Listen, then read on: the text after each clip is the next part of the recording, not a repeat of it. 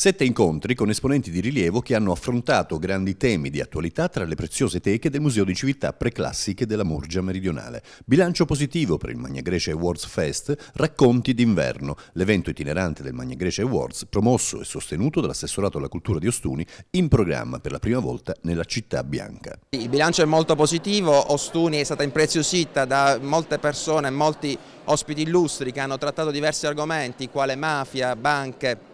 fine vita, le donne stasera, eh, la Brexit, quindi abbiamo impreziosito questa città già preziosa di per sé, di persone importanti che hanno dato lustro e hanno parlato di tematiche ehm, quotidiane partendo dai, dai libri da loro scritti. Mm, la particolarità di, questa, di questi racconti d'inverno, di questo Mania Grecia Awards Fest, è che sono stati protagonisti, oltre i vari personaggi illustri che ho detto prima,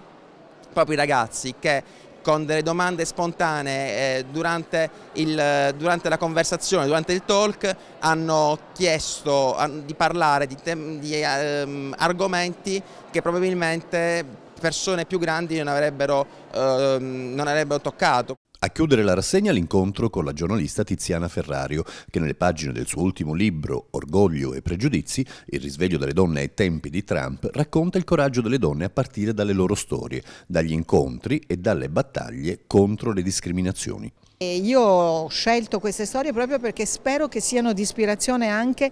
per le donne italiane, che trovino un po' il coraggio di... Eh, farsi valere, forse c'è un po' bisogno no? di eh, ricominciare anche a chiedere un po' più di diritti, ad alzare un po' di più la voce, io ho guardato quello che sta succedendo in America, c'è un grande fermento e stiamo vedendo che sta arrivando anche qua, il caso delle molestie sessuali è un esempio. Voglia di parità interpretata anche in una performance speciale dei ragazzi dell'Officina del Sole, la compagnia teatrale del liceo classico di Ostuni, ai quali è stato assegnato il premio speciale Magna Grecia Awards.